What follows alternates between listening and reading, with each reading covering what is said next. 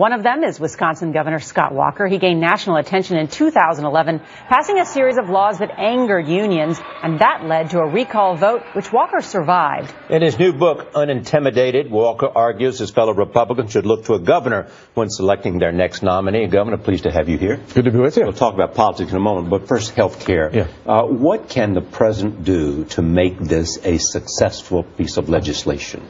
He has said if 80% of people are signed up, that would be success. Well, I think clearly they have to fix the website, and that's first and foremost. Whether you've got a state exchange or federal exchange, people just aren't getting it. What's in. the measure of success?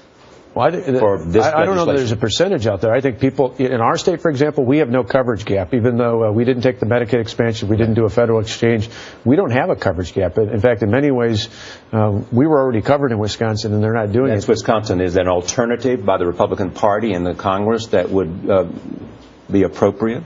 Oh, I think that, that's our ultimate goal. We can't relish the frustrations that people are having across America. The last thing Republicans want to do is look like we're the ones at the edge of the cliff pushing Obamacare over the top. But we have to come back with a, a market-driven alternative out there. I think if When? Well, I'd say fairly soon this year yet. I think the sooner we can come out with something in the states, we're doing that. That's exactly what I talk about in the book. Those are the sorts of things that there's a stark contrast between Republicans being optimistic and relevant in the states versus the failure to do that in our federal government. Republicans have lost uh, the popular vote in five of the past six presidential elections. The Republican Party is looking to win in 2016 and, and to make reforms. You're a governor, um, but you have said that the next nominee has to come from outside of Washington, has to be a governor.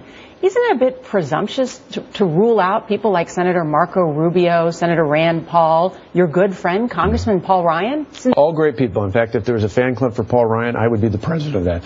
Um, but I think you just don't want him to be president. Well, I just look at the overall, and and again, this is one of the things I highlight in the book. Overall, people in America, I think, are frustrated with everyone in Washington, not just Republicans, not just Democrats, with, with the lack of getting things done.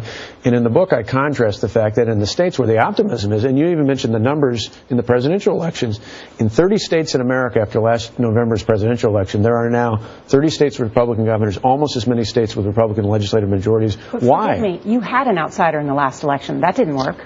Well, but again, th- those are one of the, the, the key differences in the future. A proven successful reformer in the states, I think, would go a long way, not just towards winning, but more importantly, towards governing. It just so happens you spent last night with Chris Christie. I, I did.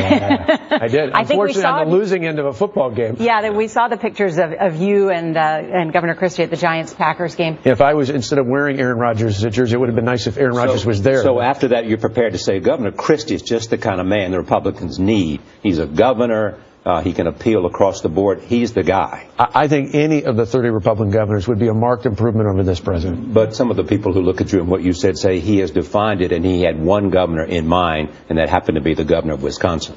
Oh, no. I mean, I think in the end, you look at the difference out there, people see governors as being more optimistic, more relevant, more courageous. And in fact, in all those states we just talked about in the presidential election, Iowa, Wisconsin, uh, Michigan, Ohio, Virginia, all those states are states that were battleground states, and yet Republicans are governors in those states. Governor, your comments get a lot of attention about needing someone from outside Washington. But isn't that a bit simplistic? Isn't it really about policies and reform Mm-hmm. that you talk about, that a lot of governors talk about, that they do in their states? Why not on, for instance, on immigration reform? Mm-hmm. You have said you support a pathway to citizenship. Do you think the next nominee for the Republican Party has to back a pathway for the 11 million undocumented immigrants in the Ah, country? but see, there's the difference. I talk about a legal pathway towards there, not amnesty, not the legislation. They're What talking about legal Washington. pathway? Well, to me, the, the, the, what we talk about with the debate in Washington is just addressing the symptom, not the overall problem. That's the difference between, again, what I see in the states and see in the federal government. The, the bigger problem is we don't have a legal immigration system. You know, my you give them ancestors. temporary visas on a pathway to Well, I think you got to fix the front door. Uh, before you talk about who came in, you got to fix the front door. My ancestors came from Germany and Ireland. My wife's uh, family came from Sicily. My in-laws, on my bro- or my brothers-in-laws, I should say, came from Mexico. In every one of those cases, they came here as immigrants. But we also are a country not only of immigrants but of laws. And right now, we don't enforce the law for legal immigration on the front end. You could fix all these other problems if we had a successful legal immigration system in, in the United States. Governor We'll Scott. wait for specifics. Thank you. Unintimidated goes on sale tomorrow.